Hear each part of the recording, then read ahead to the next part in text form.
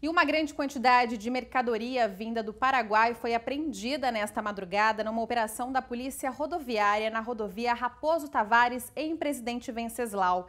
Cinco carros foram apreendidos. Os porta-malas estavam lotados de produtos. Segundo a Polícia Rodoviária, brinquedos, eletrônicos, roupas e óculos foram apreendidos.